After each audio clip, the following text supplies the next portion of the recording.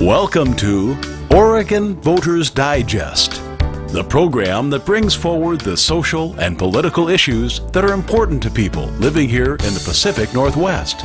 And now, your host, Bruce Broussard. Welcome again, folks, to the Oregon Voters Digest. I'm Bruce Broussard, your host. We're going to have quite a show today, and and my guess you'll you'll understand what I'm talking about. But you know what? I think the direction we're going to be going at this point in time, we got so many issues that we're faced with here, uh, not only in the in the country but in the state of Oregon, and just even with your own local community aspect of it. And you know, how do you how do you pick all this stuff up and, and understand it? We got the whole issue about the marijuana issue. You know, the state of Washington has uh, pretty well have already have, uh, adopted the marijuana issue. Folks are so confused over there. They don't know whether or not they're smoking pot or not. When to, when to smoke, when not to smoke. That's an issue. We got the state of Oregon, maybe led by uh, uh, uh Congressman Earl Blumenauer, basically trying to figure out what he's going to do with in marijuana. You know. I, I don't want to get so facetious and funny about this. What, I mean, where, where does he come off? You know, he's in the district. You know that we have all sorts of issues and whatever. But you know, here we are Uh, maybe looking at the possibility of putting marijuana here, the same same situation that we're having in Washington, maybe competing for the dollars. Is that what we want to do? Well, we need to talk about those issues. Then we got the whole issue with PERS, you know. I mean, that's a major, major, major, major issue. As you know, I made a statement a couple of shows ago from the standpoint there's no there's no solution to this problem at this point in time because the people, most of the people who are are basically concerned making the decision on the whole issue of PERS, they're all on PERS. And it's going to be pretty tough for persons who basically have built up their retirement and their standard of living, if you will, on their existing dollars coming in to all of a sudden say, no, we want a reduction. It just, it just don't work there. We're going to have to come up with something. My position wasn't right off the bat, we need to take it to the people. Pick it to the people. Let's have a vote on this issue. Not basically asking the people who are receiving the PERS to come up with a solution. They won't do it. Then there's the, there's, there's the issue with the whole issue of abortion. There's a, there's the issue on the gay marriage aspect of it. The, the, the was it uh, DOMA, the defense of, on marriage, uh, if you will. We went through the Supreme Court's going in. They're sort of locked. They don't know where to where to go with this situation. I mean, we've got some issues. We got some major issues. Whether you like it or you don't like it, we're going to have to solve the problem. We're going to have to talk about it. And I think it is a government of the people, by the people, and for the people. And I would say 90% of us in the population right now, 90% of us really don't know where to go. We're bombarded with media daily, whether it be talk radio, whether it be TV, whether it be the newspaper, whatever. We're just all messed up. Well, anyway, I'm going to just sort of, we're going to start a series here, and I'm going to take some of those issues, and we're just going to have a discussion on each one of them. And, uh, and then I'm going to open up the line if necessary. And if, if we don't open up the line uh, during the, the first hour, uh, we'll just follow up with a with another show and open up the line give you an opportunity to express your opinion.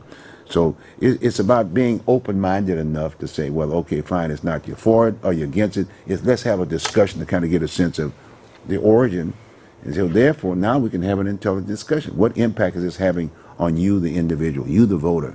You know, you, you, the breadwinner, the whole nine yard. But what we're going to do, we're going to start off today with uh, with a subject, with an area that uh, we're all sort of like in, concerned about. It's the whole issue of gay marriage and the whole issue of gay rights and uh, Defense of Marriage Act. I mean, all that whole piece. So I've, I've picked, a, I've got a guy here with us today who I've known, who's he's been on on the Oregon Voters Digest talking on several other subject matters that we've had before. But in this particular case, I, I, he's been involved in in um, in, in, in, this particular issue. He's pretty well gotten the facts, and I've I've always felt very strongly about the fact when I made a statement about the definition of uh, someone with a legal background is that they've got the dictionary. and my friend here is, Herbert Gray. He's an attorney at law here in the Portland metropolitan area. He's practices law, and he just so happened to be as, as be a, be affiliated, if you will, with um, with the Alliance for Defending Freedom. And one of the areas that he's basically done some research in is the whole issue of this this uh, this gay rights stuff and the, and the marriage stuff and this that and the other. So I think it will be very very informative. And uh, again, like I said, uh, I hope you have an open minded about this situation. Listen, and then and then like I said, I will give you an opportunity to respond uh, to uh, whatever's being said here at this point in time. But but but initially, I would like for, for to have a discussion here with with uh, with Attorney Gray and uh, about this issue, about the whole issue about uh, uh, gay marriage and this, that, and the other. Okay. So with that, Herb, welcome. Great to be here, It's Been a while, but I'm glad to see you. Good to see you. Sure enough, sure enough. Well, look, there, there are several uh, uh, uh, topic heads that uh, we put together here that we will probably maybe go through, and then hopefully you'll get you'll respond accordingly. Sure. I think uh, why don't we start off from the standpoint of the importance of traditional marriage? I mean, let's let's go let's go on with where we where we were at one point in time, and now we've gotten to this situation. So I've got several different categories, and we're gonna Sure. Okay. Well, th- I think it's important for everybody to understand that what we consider traditional marriage has been around for a long, long time, not just in our culture, but in a mm-hmm. lot of cultures over the last several thousand years, across all kinds of religious traditions. And why is that? Well, it's because it still takes a man and a woman to make a baby. Mm-hmm. Mm-hmm.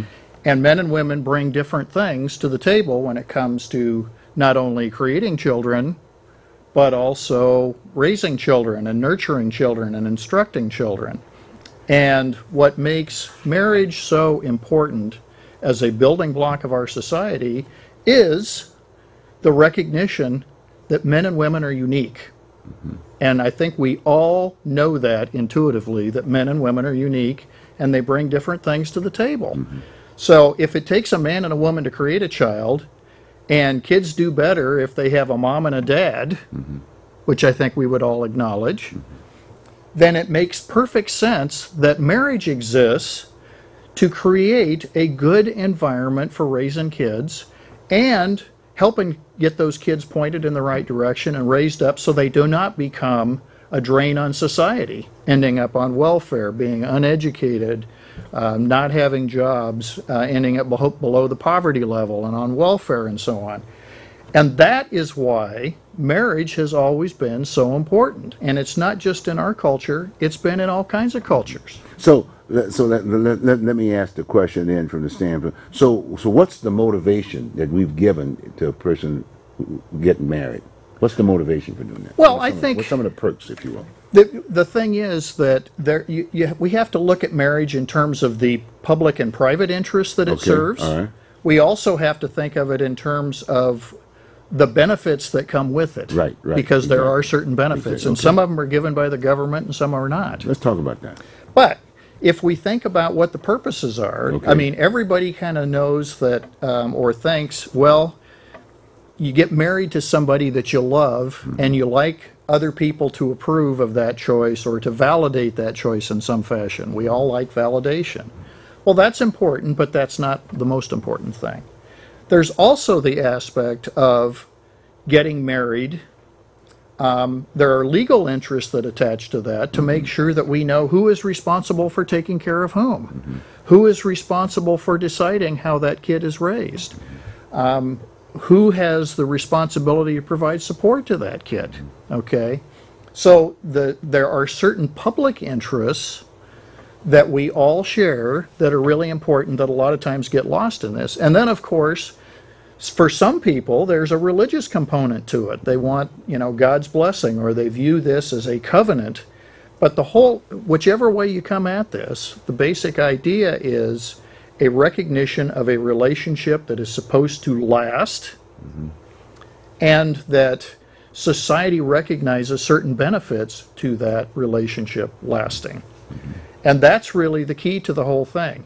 It's not trying to say that certain people don't deserve it or should be excluded from it or anything like that. What we're talking about is how do we as a society validate certain relationships because they do important things? And that's really the key to it. Well, again, uh, on that on that same note, um, I'm I, I- I'm, I'm the layperson at this point in- time, so- so I'm going to just kind of ask. The, maybe I, I'm being redundant, but the idea is that um, those perks and whatever, and those motivation and the enthusiasm, whatever, is what to bear children Right. Well, and to raise children. and to raise children. Right? Right. You have to raise them. Yeah. You have to Yeah. naturally. Okay. Okay. So so again, let's spend a little bit more time from that from the standpoint. So the benefits, if you some of the benefits, we got the child. We're raising the child aspect of it. Right. Now, what are some of the benefits of of two people married, man, man and woman, right? Mm-hmm. That the other side wouldn't have. Well, what you often hear is why shouldn't everybody be able to marry Right. whoever they love? Right. Okay. as if the most important thing is that you got to love somebody. Right. Okay. Now, yes, in a perfect world, we all want to be able to marry somebody that we love. But the, the critical thing is that everybody has the same opportunity to marry somebody that they're allowed to marry. Okay? The, and, and we, there are lots of laws that say a father can't marry his daughter, or a mother can't marry her son, or you can't marry your first cousin, you can't marry somebody less than 16 years of age. Okay, our society recognizes that there are certain people who are not really ready or shouldn't be allowed to be in that type of a relationship for perfectly understandable reasons. And so, if the whole conversation is about, I ought to be able to marry whoever I love, what hmm. you're really saying is, nobody has the right to tell me something different. Hmm. Okay? Well, I think we would all acknowledge if we hear about some guy that wants to marry his daughter, our instinctive reaction is, ooh. Mm-hmm. And so the whole idea, as, as a starting point, that, that there's no reason to regulate marriage is ridiculous on its face because there do need to be lines drawn in certain places. Um, I think it's also important for us to remember that our society depends upon certain things happening in a family. And if that doesn't happen in a family, it has to happen somewhere else and usually with public money. And that's a problem. So, to approach this from the standpoint that there is a fundamental inequality in the definition of marriage is ridiculous because everybody has the same opportunity to choose somebody to marry. Mm-hmm. Everybody does. There's no question about that. And anybody who is serious about this issue will understand that you don't get to marry a, on an unlimited basis whomever you want to marry. But we all have the same ground rules to work from. So how do we get to this other point on the other side? Any any idea from a historical standpoint? How did we get to this particular? Well, I, I think a lot of times uh, there's a couple of ish- reasons for that. One is the whole idea that it's all about love. okay, Okay. okay, Well, I'm not going to sit here and say love is a bad thing. right, right. You wouldn't either. But the, the reality is there's more to it than love. And yet that's how it's commonly portrayed. Plus, there's a lot of argument about whether or not people are born with some sort of homosexual tendencies or whether that they develop that. Well, there's science all over the place, but really credible studies say there is no such thing as a gay gene. People are not born that way, and there are a number of factors that lead people to make certain choices. Now, the folks who are who are- pushing against traditional marriage don't want everybody thinking about the fact that people choose to engage in certain types of behavior, and yet re- in reality, that is exactly what's going on. So, if we get right down to talking about people choosing to do certain things and wanting the validation of society, that's really what's being pushed. And so anybody who gets in the way of that, who says, I don't think that it should be a free and open field here, is then cast um, as being bigoted or intolerant or something like that. When in reality, they're saying there are good reasons for the rules that we have. And it has nothing to do with telling somebody they can't have the same opportunities. It's got everything to do with biology and so- sociology and good things for kids and stable families and stable governments and good citizens. Okay. Well, now I'm, I'm, jumping all over the place for this point. But that, what about uh, maybe maybe you can give some examples of some pending cases maybe that, that talks to that kind of a situation Well, I, that I'm, people might be familiar with. Right. Well, uh, I think that, uh, you know, the cases that were just argued to the Supreme Court a couple of weeks Okay, ago, right. a lot of people probably do not understand all the ins and Exactly. outs of those. Exactly. So there were two cases. two cases, right. Uh, the one, uh, the Perry case, which was the Proposition 8 case from California, is the better known one. And what, what uh, the Prop 8 case was about, um, several years ago, the voters in California passed an initiative, it was Proposition 22, that defined marriage as between a man and a woman. And there was a legal challenge to that, and it got struck down. So then there was another initiative that was voted on um, uh, in 2008, I believe it was, and millions and millions of Californians voted to retain the traditional definition of marriage. That was probably part This is Prop 8. okay. Again, it's challenged, and this time it goes the way, uh, goes up through the court system. And when it got to the Ninth Circuit Court of Appeals, um, Judge Reinhardt said, well, the only reason that anybody could possibly pass something like this is because they hate gay people. What? It's right in the opinion. But the people, but the people voted. The people voted, and what he's really saying is there is no other reason why people would vote for this other than they hate gay people. Well, we've already talked about the fact there are a whole bunch of social reasons and biological reasons and every governmental reasons why people would make that decision. So when the Prop 8 case comes up through the courts, basically the argument is the 14th Amendment Equal Protection Clause um, makes that decision of millions of California voters improper because they must just hate gay people because that's the only reason. Um, the other issue that was involved in the Perry case, um, it's important for, and most people don't know this, but it's important for people to know that the governor of California and the attorney general of California, who are obligated to defend state laws, declined to do so. So who ended up upholding or, or defending Proposition 8? The will of millions of California voters. It was the people who put Proposition 8 on the ballot. Who was governor doing that time, you know that? Well, it was Governor Schwarzenegger when it first started. Mm-hmm. Mm-hmm. But here's the deal. The Supreme Court wanted everybody to talk about whether the people who put Prop 8 on the ballot mm-hmm. Right, that's, that's what I'm going. had stand, legal standing to defend the, the law when the government officials who were supposed to do that constitutionally wouldn't do it. So that's what's going on with, with Proposition 8. And the Supreme Court is showing all kinds of indications that they may say, well, we're a little uncomfortable with this whole legal standing question, so we may just leave it intact because of that. Then the result is confined to California. So that's the, that's the Perry case, the Prop 8 case.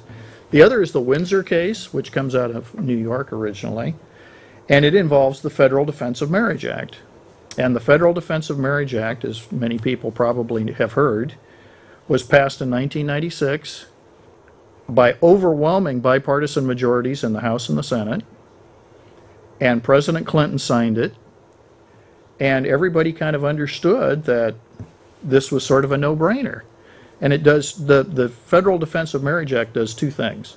The first thing is to say marriage is a man and, and a woman um, for purposes of all kinds of federal benefits. The second thing it does is to say no state should have to recognize anything other than the marriage of a man and a woman or, or woman if somebody got married in another state and then comes to their state. Okay? Makes sense. So very straightforward, you know, kinds of things that most people would accept as perfectly reasonable. But what's happened now is because of the, the political environment we find ourselves in, and especially with Judge Reinhardt from the Ninth Circuit saying, you know, the only reason to pass anything defending traditional marriage is because you hate gay people. Um, now there are a lot of people who formerly voted for federal, the Federal Defense of Marriage Act, who are now saying, I no longer do. President Clinton included.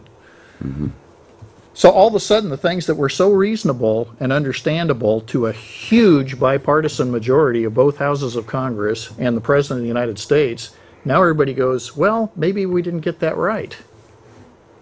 But nothing has really changed in terms of the underlying objectives and the importance of marriage in our society. It's all the same. You know, again, I, I'm still asking the question: What about the vote? I mean, what about the people? Uh, it was supposed to be a government of the people, by the people, for the people.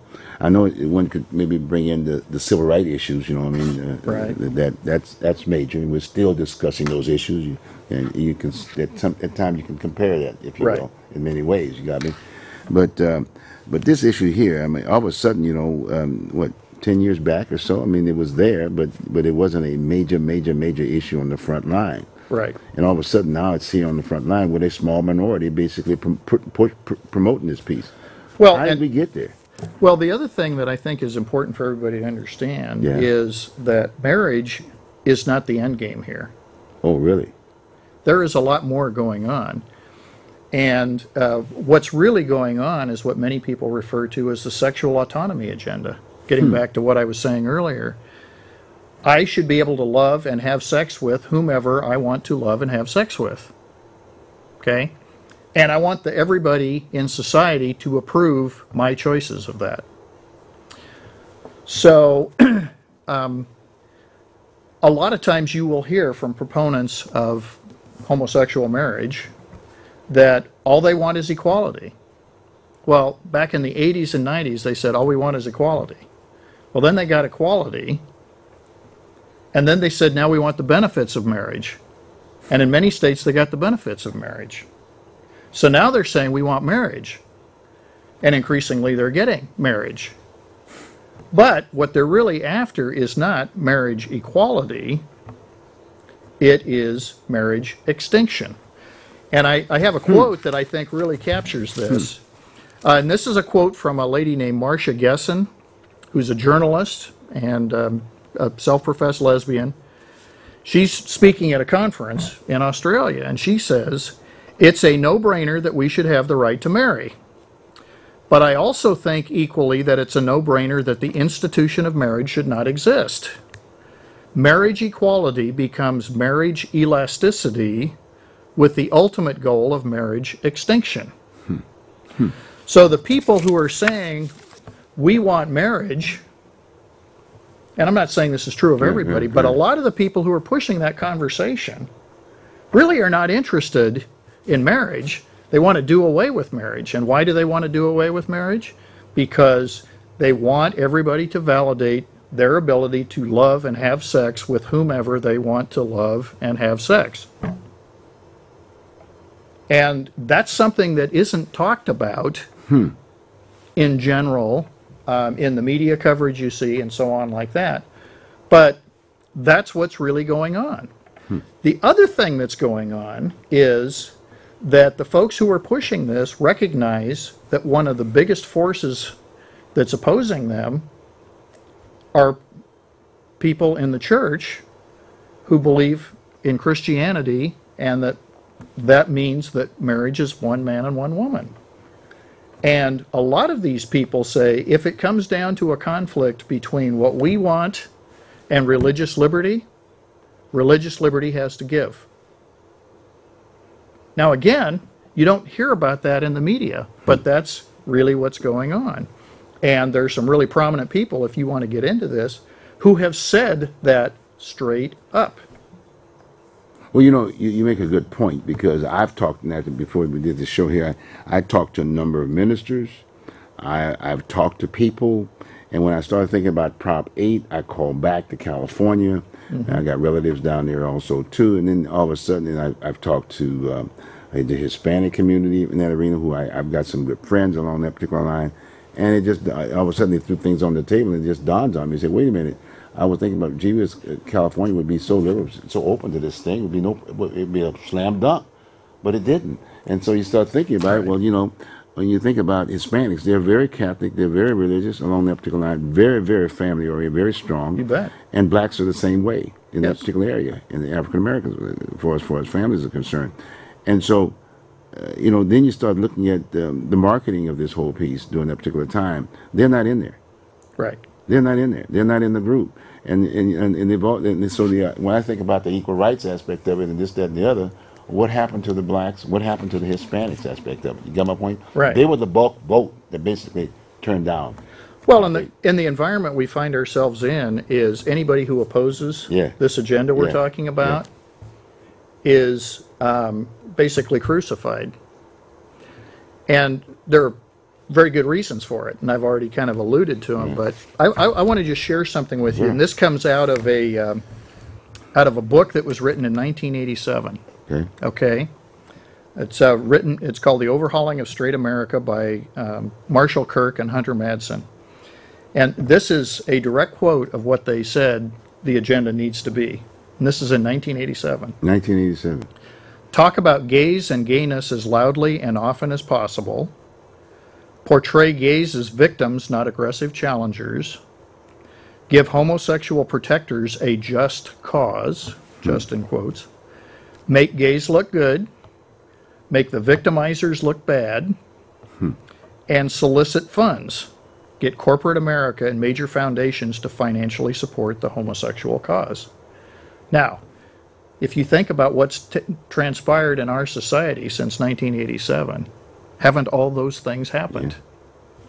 So this is not just a matter of a bunch of people who are asking for everybody to approve of their relationships. They're trying to make sure that they don't have opposition either. And so there are many people, you know, you talk about many, many uh, parts of our society that you would expect would be in favor of traditional marriage, Right, and they exist. Why is it that we don't hear about that? Well, it's because there are a lot of people who have kind of been cowed into silence because it's not cool to say you're against this agenda. But we are all creatures of our exposure. I, I realize that. I mean, you know, why, why can't you talk about it? I mean, this is America, right? Freedom Right. of speech, right? What's the problem? Well, the problem is, again, that there is the people who are leading the charge here mm-hmm. on this mm-hmm. agenda mm-hmm. don't want opposition and they want to annihilate the opposition. And they're not after marriage. They're after the ability to have unlimited access to whomever they want to love, whenever they want to love them, for as long as they want to love them, and to have sex with whomever they want to have sex with And no family. the leaders of the agenda, that is what they're after. And, you know, even um, back in 2003, the U.S. Supreme Court decided the Lawrence versus Texas case where they struck down the Texas sodomy statute. And um, Justice Scalia was just fit to be tied about that. So he writes in a dissent, and this is what's really going on. Supreme Court. This is Scalia. Justice Scalia in his dissent in Okay. 2003. Okay. State laws against bigamy, same sex marriage, adult incest, prostitution, masturbation, adultery, fornication, bestiality, and obscenity are likewise sustainable only in light of Bowers' validation of laws based on moral choices. Every single one of these laws is called into question by today's decision. Now, what is he saying? If you strike down marriage, we are on the slippery slope because there is no principled way to oppose all of these things that he mentioned if you throw marriage out the window. So traditional marriage is the linchpin of all of this. And, um, you know, the challenge is to be able to say, again, that there are legitimate interests that need to be addressed that are addressed by marriage. But why aren't we having these kind of discussions? Well, again, you know, there are people who want to make anybody who opposes this, you know, look bad um, and you know be regarded as you know out out of date and you know all of that. In fact, um, I just wanted to uh, to share with you. Uh, this is a quote from Marc Stern of the American Jewish Congress, Okay. and he says. And who, where, Jewish country? Where, where is that? Where, where- Uh, American Jewish Congress is a, is a, basically a, a a Jewish non-discrimination organization. Okay. All right. The legalization of same-sex marriage would represent the triumph of an egalitarian-based ethic over a faith-based one. The remaining question is whether the champions of tolerance are prepared to tolerate proponents of a different ethical vision. I think the answer will be no. Now, this is somebody who would ordinarily line up on the other side of the table here. But what he's saying is, will the people pushing this agenda be content to tolerate a different point of view? In the and he says, I don't think so. The people I usually hang around with, I don't think will stand around and, and, and abide that.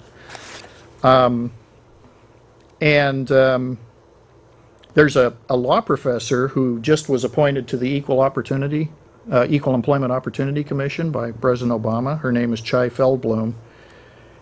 And um, this is what she said I believe the burden on religious people that will be caused by granting gay people full equality will be justified. That is because I believe granting liberty to gay people advances a compelling government interest, that such an interest cannot be adequately advanced if pockets of resistance to a societal statement of equality are permitted to flourish, and hence that a law that permits no individual rights that states that uh, no law shall be